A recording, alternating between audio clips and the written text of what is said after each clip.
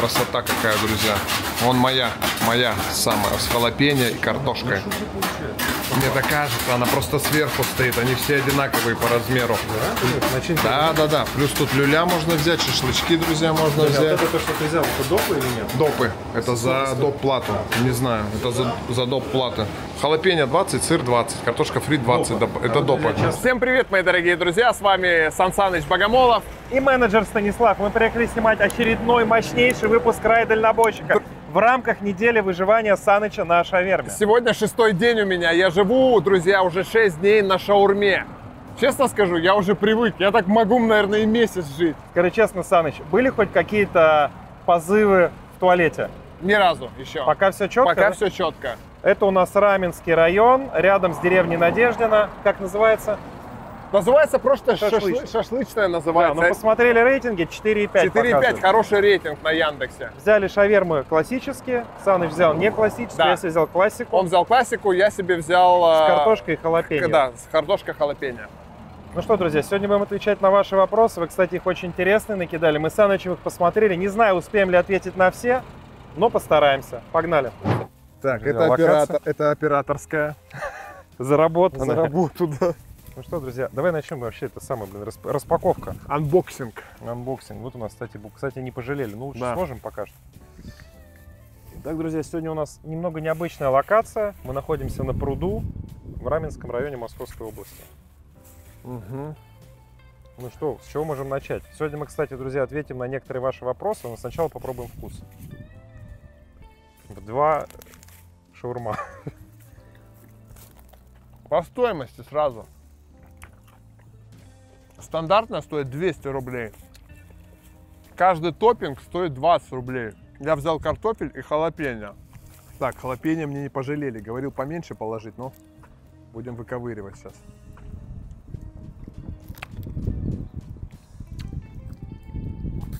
Что могу сказать первое? Первое впечатление. Это Очень самое майонезисто. Очень да. Ты это заметил? Мгм. У меня такое чувство, что там майонеза прям Да. Как будто, нахерачили просто. как будто я салат оливье ем. Меня чувство, что мы вот реально просто очень-очень много майонеза. Вот первое мое впечатление. Да. Вот действительно много, Стас, посмотри. Я тоже пока, кстати, до курицы не добрался. Вот реально ее просто нету. Я не могу сказать, что что-то там тухло или еще. Нет, просто пока что ем я майонез и лаваш. Однозначно. Соуса надо было меньше майонезного. Нет, причем бывает, знаешь, соус грамотный. Ну, как в Питере у нас делают. На кефире? Да. Мгм, Я пробовал Сметана, на днях. кефир. Да, да, да. И вот его много не бывает. Его много не бывает. А это как бы не соус, это просто майонез. Просто Мгм. дешевый майонез. Ну что, друзья, санкции вот так вот, да, уже придушили. Вот так просто отель не забронировать на букинге, на Агаде. На Airbnb квартиры по вкусным ценам там в Таиланде не забронировать, как раньше. Стриминговые сервисы, игры, фильмы, музыка, все, лавочка прикрыта. Да нет, не все. Я вместе со своими казахскими партнерами запускаю сервис по выпуску банковских карт Казахстана. Все официально, быстро и прозрачно. Делается в два этапа. Первым этапом мы вам выпускаем казахский ИНН, называется он ИИН, это индивидуальный идентификационный номер, без него карту не открыть. Лететь в Казахстан вам не надо, это вообще все делаем не выходя из дома. Как ИНН открыли, вторым этапом открываем вам банковскую карту. Карта будет виртуальная, именная, и пластик доставим по всей стране, по всей стране бесплатно. Пластик не именной. В любой точке мира подходите к банкомату, снимаете кэш, наличку. На любых сайтах бронируйте отели, билеты. Карта везде проходит. Друзья, санкции нам теперь не страшны. 10 500 рублей, все под ключ. Переходите в мой телеграм-канал по казахским картам. Лично я вас буду обслуживать менеджер Саныч, будут какие-то вопросы, пишите. 10 500 рублей, все под ключ, давайте делаем, пока казахи эту лавочку не прикрыли. Но у меня уже пошла курица. Курица хорошая, друзья. Помидоры, огурцы тоже все хорошее. Картошка фри, свежая. Бывает, знаете, когда по- полежит, когда она такая У меня уже... тоже курица уже пошла. Оператор сидит, снимает и ест одной рукой, друзья. Вы видели бы вы сейчас эту картину. Не к столу будет сказано, друзья. Это мы придумали такое небольшое рубрику. А, Food Кукол. Food Cool, друзья. Кто такой Food Cool? Значит, мы берем человека, Оператор который- у нас раньше был фудкукол. Он всегда Food Cool, но сейчас нет, именно в этот момент. Как все это делается, друзья? Все это крайне просто. Кто-то из наших друзей, из наших Да. знакомых подписывает с нами устный договор. Сутки он не ест вообще ничего, после этого приглашается к нам в нашу подкаст-студию, и мы начинаем перед ним есть всякие разные явства.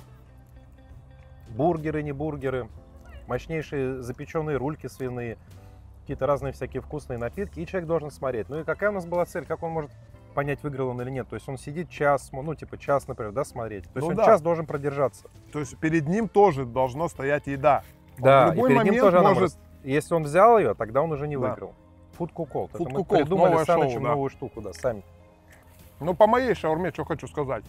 Картохи очень много, это очень сытно, очень вкусно, с майонезом. В принципе, нормально заходит. Вот. Я бы, конечно, хотел, чтобы курицы было побольше. Как будто ее не чувствуется здесь, как будто Я ешь сейчас скажу, это шурма, честно, веганская. никакая. Она Веганская. веганская, тут одни овощи, очень Мгм. много майонеза. Не чувствуется, да? Курицы как будто просто нету. То есть, ну, прям вот бюджет-бюджет. В Питере за такую шурму ребята бы могли бы вернуться, так могу сказать. Ну, ничего не тухло, ничего. Не, у меня вот мясо есть, смотри. Ну, оно как бы есть, но как бы его прям вот вообще с гулькин нос. Теряется в майонезе. Вообще теряется май- майонеза очень много. Это минус сразу вот если убираем. на нас смотрят с этого кафе или кто, ну, уберите вот этот майонез, делайте лучше кефирный соус, сметанный вот этот, вкусный такой. Может, он чуть дороже. Мне кажется, так же он будет по Да, цене. конечно. В кефир можно Или попробовать. положите вы просто меньше его, будет же Мгм, дешевле. Просто да. пусть его будет меньше. Мгм. Просто его прям очень много, он забивает вообще весь вкус. Друзья, у нас сегодня к рубрике «Рай дальнобойщика» поступили некоторые вопросы, потому что кто нас смотрит, да, знает, что мы разбираем различные вопросы на рубрике «Рай дальнобойщика». Вот первый вопрос. Мы сейчас вкратце ответим. Да. Главное только зачитывай от кого. Давай. Настя пишет.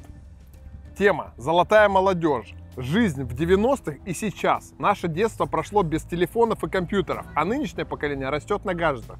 Что думаете по этому поводу? Давай сначала ты выскажешься, потом я свою точку зрения. Я могу вам сказать так. Мое личное мнение, да, вот Саныч, оно может не совпадать с моим. Я эти так бывает очень острое часто. буду убирать. Халапеньо очень злая штука, я не ем. Друзья, мое мнение такое, что сейчас молодежь сильна по-своему, то есть они вот как бы все в новое время, вот эти интернеты, там что-то делать, какие-то программы, может быть, писать более быстрые, по-другому мыслят. Но, к сожалению, в реальных полевых условиях, к сожалению, они долго не проживут. Порой я знаю таких людей, которые не могут себе приготовить яичницу. То есть настолько как бы это стало. Я вот, например, скажу по себе, в 7 лет мы могли уже оставить дома, я мог себе приготовить чай, Я также. мог себе приготовить яичницу. Какую-то базу. Естественно, Да. супы там борщи не варил. сделать. Сделать бутерброд, нарезать сам мог. Мгм. А сейчас, то есть я знаю людей, там 10-12 лет, человек не может пожарить яичницу, потому что ему там либо не разрешают, либо он сам боится включить плиту. То есть выживаемость упала просто на 100%. То есть человек, вот, который вырос на гаджетах, его просто брось в лесу, я думаю, что он умрет очень быстро. Но, Вот это мое мнение. Но в чем-то они стали сильнее и быстрее. Вот я так думаю. смотри, с другой стороны, это показатель, может быть, ну, более-менее хорошего времени, что сейчас э, ни к чему эти выживания, Саныч, как есть нам. такая великая пословица. Сильные времена рождают слабых Да. людей, слабые времена рождают Совершенно сильных верно. людей. Это все циклично. К чему это приведет? К слабому Может, поколению. ну, вопрос, скорее всего, был с таким. Сейчас многие пишут, вот, сейчас молодежь вся в гаджетах сидят, а у нас офигенное детство было. У них тоже офигенное детство. Они сидят в гаджетах. Сейчас я смотрю, и многие гулять стали опять молодежь. В гаджетах ничего плохого нету. Они сейчас через интернет, дети, вот, в нарезке делают и зарабатывают деньги. Ну, не все, но многие уже могут за- через интернет. Вот примерно так вот. То есть и всегда будут это а- а- отцы и дети, вот это поколение, всегда, Всегда говорили, будет. вы... Каждый раз так говорят. Да, да, да, да, да. Давай следующее. Давай. Настя опять. Тема. Сейчас вся еда искусственная, дорогая, некачественная. В СССР было все настоящее. Следили за этим, как и сейчас в Беларуси. Иногда ненароком думаешь, что может и правда тут фарма замешана. В плане, что люди едят плохие продукты, а потом бегут в аптеки, короче, лечиться от болячек. Выращивать все свое, это утопия, конечно. Тут ответит Саныч за нас двоих, потому что пока мы ехали, мы с ним обсудили этот вопрос и даже немного Да, изучали этот я вопрос. потому что этим вопросом Саныч уже давно здесь, зада- задавался. Я дав- зада- давно задавался этим вопросом, изучал. И плюс у нас скоро будет подкаст. Мы хотим пригласить технолога, который шарит в этой теме. Ты сказал, что ты шаришь. И, друзья, это, конечно же, в основном, по большей части, это миф. В Советском Союзе очень много использовали пестицидов. да так сильно использовали эти пестициды на полях, что многие земли после этого стали вообще неплодо... ну, убили просто. Это первое, это база. з- Да, то есть Потом овощи. ты да. сказал очень хорошее про то, что не было пальмы, пальмового масла, за то, Да. что было. Многие, маргарины, мно- да, многие говорят, вот, сейчас э, пальмовое масло. Тогда ж не было пальмового масла. Действительно, пальмовое масло не было, оно дорогое было.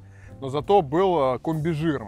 Что такое комбижир? Это смесь свино, говяжьих, растительных жиров, плюс это все, Что-то есть перехотел. Сказал. да, гидро, гидро, вот слово забыл это, что-то там делают с ним, и появляется не растительных, а животных жиров, наверное. Ты Нет. сказал растительных. свино-говяжьих, И плюс растительных. А, еще растительных. Ну, Это спред какой-то. Спред конкретный там модифицируют так, что потом даже трансжиры там вот в этих комбинациях получались. А трансжиры это, Это- вред. Э, Да, да, для- это для сосудов и для всего. Плюс э, по ГОСТам, там, ну, Да, про ГОСТы тоже. про ГОСТы, да, я конкретно сейчас не буду углубляться, это мы в отдельном подкасте потом вам расскажем. Нам технолог расскажет, а то скажет, что мы это все Который, придумали, как всегда. Между прочим, э, декан института питания, питания, который да, ездит да, да. по разным заводам в России и берет оттуда пробы продуктов.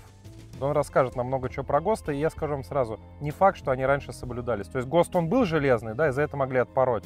Но не всегда и не везде, поэтому не уверены, что ГОСТы всегда везде соблюдались. Поэтому мы считаем, что это миф. На этот вопрос мы, в принципе, ответили. Ну Вот Сема пишет, с чего Саныч начал контент, как ему пришла эта идея, как познакомиться с Хованским, поддерживать с ним связь. Э, контент э, начал снимать я еще В Таиланде в Таиланде, да, говорил, жил, про путешествия снимал. Вот так Потом нач- бой. Да, все верно, так начал блогинг. Э, С Хованским трудно, нет, не было, он прикольный чувак. Э, Спрашивали, помнишь вопрос, как ты с ним познакомился? Да. Через кого-то там? ну, Нет, типа, не через кого. Я в Ашане был, ходил, снимал бомж обед. Пилик оповещение в этом, в ВКонтакте. Могу его найти даже, если кто не верит. Вконтакте оповещение, о, от Хованского. Говорит, о, здорово, чувак, давай что-нибудь снимем. Он мне написал, потому что я там с трендов не вылазил с этими бомжатиной. И мы вот на- начали эту тему. Ну, Как-то так. Ответил на вопрос. Еще есть интересный вопрос. А, вот кто-то ему даже ответил, человеку. Что значит трудно, если столько выпусков столовки, шавермы, не думаю. Ладно. Так, это вот огромный. У меня два вопроса. Почему От развить кого? Александр Лекс? Кстати, очень интересный вопрос. Мне он больше всех Да. понравился. Первое. Почему развитие человека в большинстве сопряжено с состоянием страдания и преодоления? Ну- ну- нужны ли всегда тягостные условия в жизни, которые подталкивают его к изменениям себя и мира в лучшую или худшую сторону? Тут уже смотря, что за этим стоит. И как, по-вашему, тогда бы выглядел мир, если бы никогда не страдали люди? Сто процентов считаю, что без зла нет добра и наоборот. И Только янь. баланс. Инь и янь. Только баланс, друзья. И всегда считаю, что должно быть зло обязательно, иначе без него не будет добра. Иначе не будет никакого баланса. Поэтому, Я друзья, не пойму, что это за ниточки у меня? это волосы бармена. Нет, это лук почему-то такими нитками какими-то. Видимо, был так нарезан. А что ты скажешь, Саныч, про первую часть вопроса? Я с тобой полностью согласен. Баланс в мире, утопии не бывает. Инь и янь, всегда все должно... Если все будет хорошо, даже- к чему это все даже в Библии, Стас, Даже в Библии, не да. Кстати, просто да, так даже был есть Каин, ад, Авель. и ад, и рай есть. То есть добро и зло всегда. Только баланс, друзья. Да. Поэтому наше мнение такое. Насчет того, что про почему же любые какие-либо изменения в человеке происходят только Мгм. через боль и страдания. Я считаю, только так, другим путем вообще никак, потому что сам в жизни совершал много разных ошибок, и только лишь спустя, когда мне пять раз дали по голове, бывает, ни одного раза было недостаточно, только пять раз дать мне по голове нужно было, чтобы я как-то начал Понял, изменяться да? в лучшую сторону, да. Кто-то умный, он, может быть, сможет посмотреть и учиться на чужих ошибках. Я, к сожалению, не такой, всегда учусь на своих. Ты что скажешь, Саныч? Нужно ли проходить какие-то испытания, страдания, чтобы как-то измениться? Вообще желательно не, их не, прохо- не проходить, но Как- Кому-то надо. кому-то надо. Когда ты их проходишь, как говорится это, ну, так закалялась сталь, есть выражение. Это же выражение вроде вообще не про сталь. Вообще не просто. Да, что человек действительно, когда попадает, я вот сам в жизни тоже проходил очень многое, попадал, и были такие ситуации там, ну просто жопа. И потом выплывал из них, и ты становился как бы более только, не черствый, что ли. У тебя какая-то там броня появлялась, и уверенность, что ты, если в следующий раз такое произойдет, ты это уже сможешь пережить. Какие-то скиллы ты себе вырабатываешь, да. Опыт, то это все Опыт, называется да. вместе опыт, да. Я считаю, без этого никак, в принципе. Без этого человек просто будет овощем, который не будет готов никакой трудности. Потом у него будет что-то дома, там, обед сгорит, и он так сильно распереживается, что выпилится. Вот вторая часть вопроса от этого же человека. Мгм. Когда изживет себя современная капиталистическая система потребления? Какая система новая придет на ее замену? И будет ли она справедливее и прогрессивнее? Или, может быть, все станет еще хуже формации системы, в которой мы живем? Какой-то философ нам пишет. Может быть, нейросетка вопрос написала? скобках. Имею в виду, что государства разрушатся, на их придут корпорации сверхбогатые, которые еще сильнее начнут эксплуатировать все вокруг. Так и Ну, будет. Очень хороший, очень закрученный вопрос. Да, я не знаю, что придет на смену, но я могу сказать мою систему, которую я сам лично придумал, лично я сам, ни у кого не услышал, ничего не придумал. Ну, как именно систему, как управление государством или вообще миром, я ее не придумал. Я услышал это про управление а, некими, скажем так, молодыми группами людей. Как это правильно должно быть организовано. То есть, по-хорошему, да, каждое государство, а, каждая школа, каждый вообще родитель Главное в каждом человеке найти его силу. То есть она есть абсолютно в каждом. Мгм. Если бы у нас наше, скажем так, управление занималось бы тем, чтобы найти каждому человеку свое применение. То есть, например, дворник это дворник, чтобы он знал Да, место, да, да. то, которое именно он найдет. Может быть, он великий музыкант, или великий там повар, или великий еще кто-нибудь. Неважно кто, не знаю кто, но неважно. В общем, суть в чем? А, Найти себе правильное применение. Потому что как у нас раньше было, как нас всех учили? Ты молчи, ты много не говори. Не выпрыгивай. Конечно, и Да. этим самым подавляли очень много людей. Все Поэтому у нас, ну это выгодно очень любому правительству, чтобы люди сидели тихо, Работали, никто не не пищал, жужжали. никто не жужжал. Поэтому я считаю, что вот единственное идеальное правление, а капитализм, ну как бы мы все в нем живем.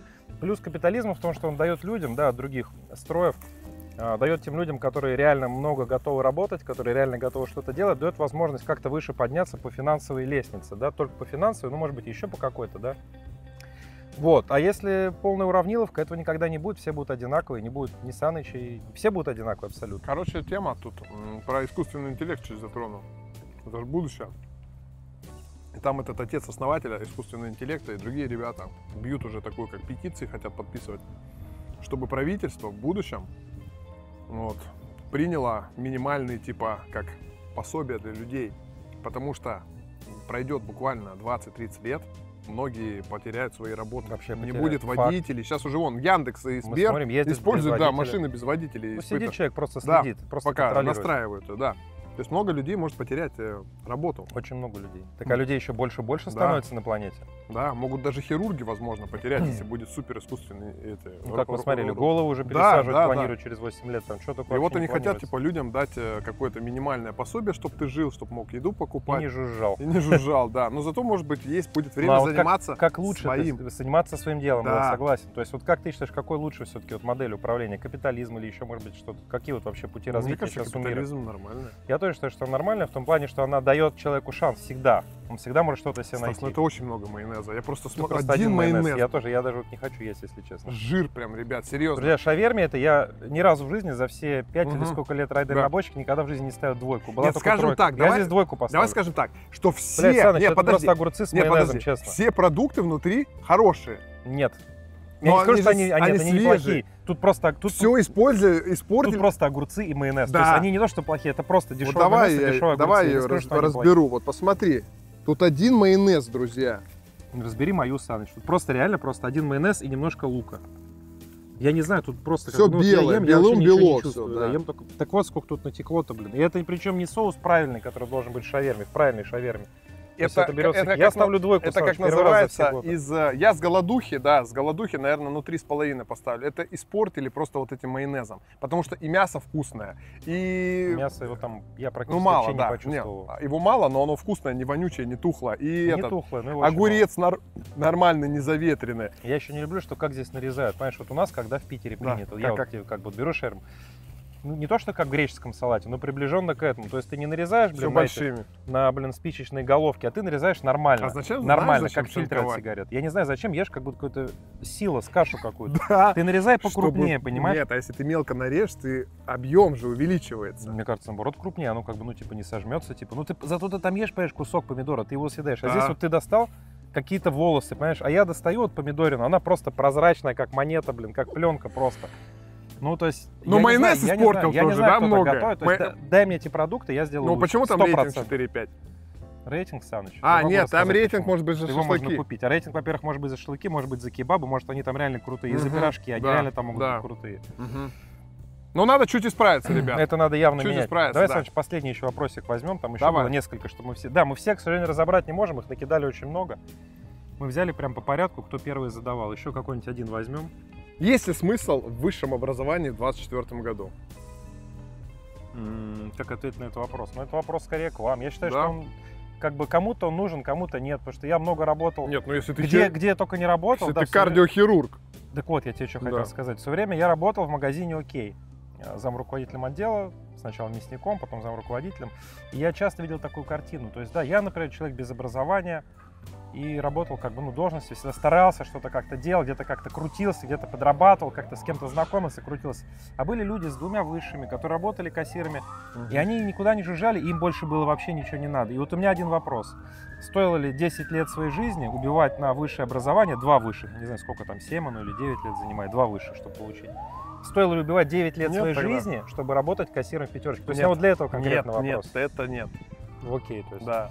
То Ты есть, друзья, если как бы есть, да, какое-то у вас применение, да, Если вы, допустим, э, потомственный, там, я не знаю, стоматолог, хирург, там, я не знаю, призвание военного у вас, там, еще как педагога какого-то, кого угодно. там, конечно, нужно.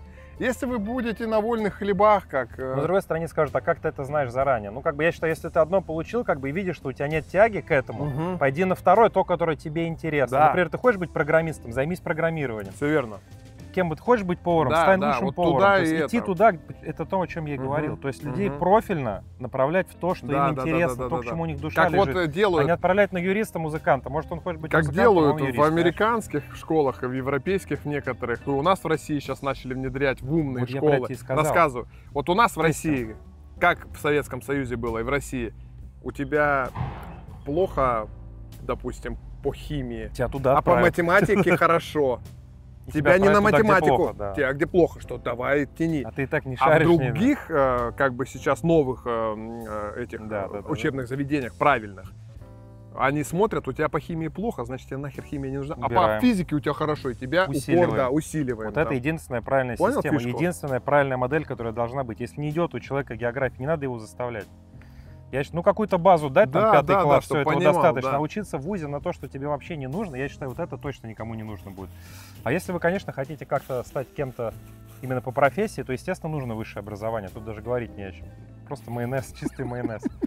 Саныч, я тебе говорю, я вот как бы честно, вот как бы даже вот как будто даже вот кому-то если купить, даже знаешь, просто я бы никому это в жизни, я собаке бы это не дал, честно. Это просто, блин, галимый майонез, Саныч, правда. Сейчас, подожди.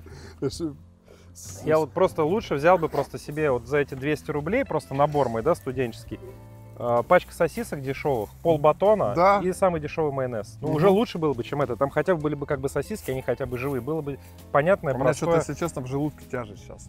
Так, а мы съели-то вот, а у нас тяжесть, у меня тоже тяжесть. Я не знаю, как это, блин, назад из Из-за рыбы. майонеза, да? Я тебе говорю, Сан, я тем более майонез вообще не ем. Сейчас бы это газировкой выпить.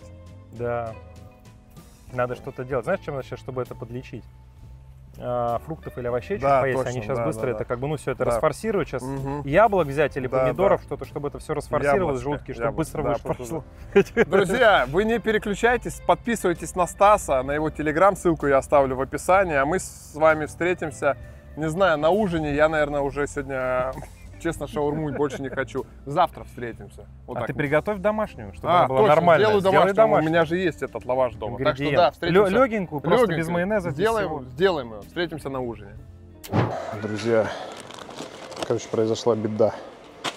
Все, никаких больше, никаких больше шаверм. Сейчас расскажу вам почему. Сейчас в светофоре быстренько закупочку сделаю. Вот эти вот полотенца, кстати, топ XL, они реально как полотенца большие. Так, мне надо, мне надо для строителя взять этот газовые баллоны. Он еду готовит. Так вот возьмем. Кстати, вот этот э, газ не рекомендую. Очень вонючий.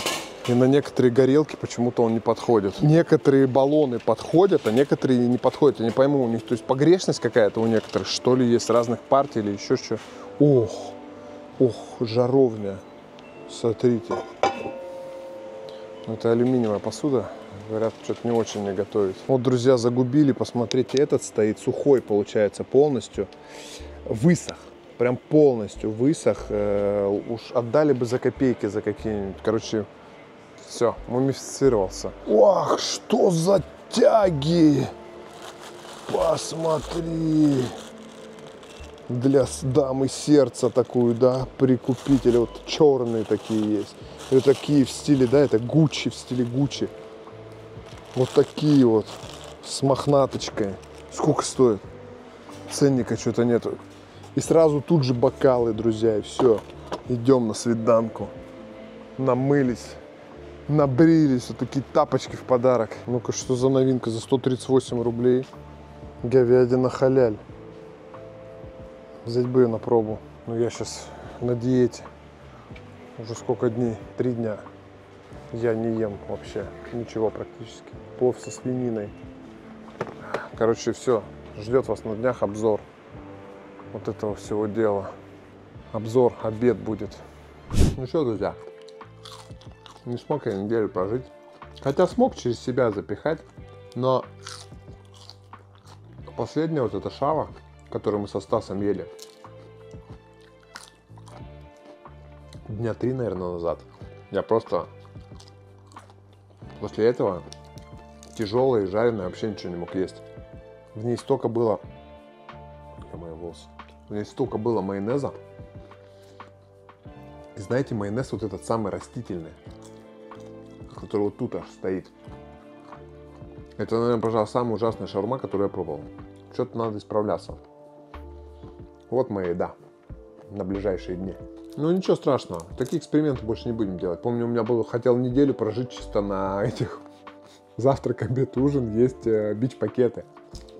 На четвертом дне у меня желудок так скрутило. В пенте до шараки. Ну что, недельку сделать на 0 рублей. Недельку на чесноке. Недельку на 1000 рублей тоже надо сделать. Давайте пишите э, свои комментарии, идеи к видео, а мы их обязательно реализуем. Всех обнял, всем пока-пока и до новых встреч.